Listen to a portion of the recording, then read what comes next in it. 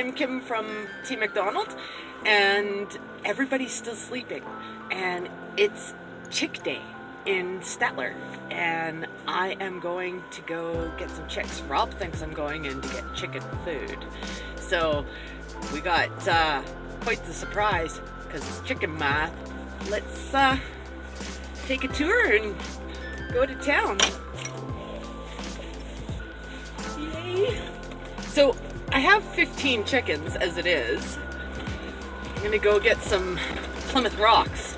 I think maybe some random birds, maybe that might be fun. So Mary Alice is with me today. She's gonna come and see some little baby chicks and that should be fun. It takes us about 20 minutes to get to town.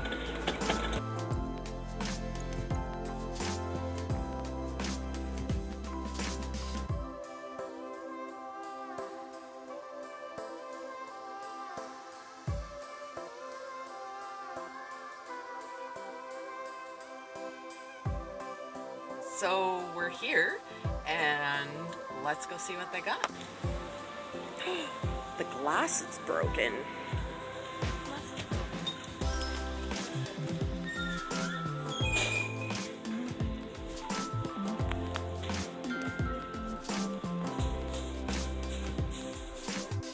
Look at the pretty babies.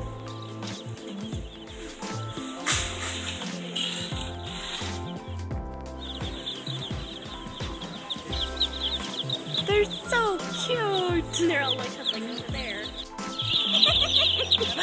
This is great.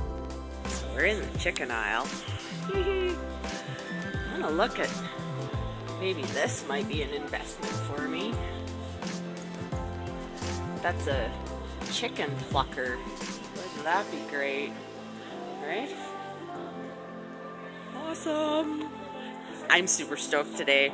We got little baby chicks, some Barred Rock. They're not Plymouth Rock, they are Barred Rock, which is the same thing more or less. So that's kind of cool.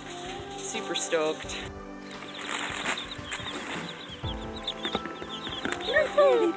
No, can I hold them? This is exciting. I haven't had baby chicks in like four years. So since we have some Barred rocks, those are for both meat and and eggs. So that's great. They will do exactly what I need them to do and there'll be meat and everything. So we're home now. And uh, we got our babies.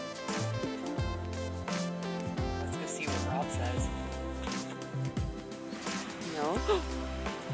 Yes.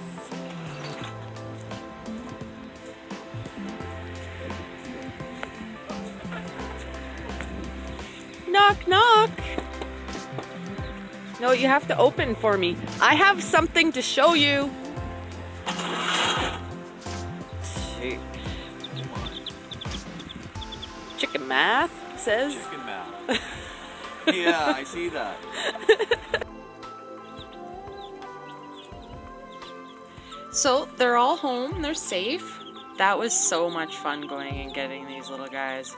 If you want to see more updates on them, uh, like, subscribe, and we'll catch you in the next one.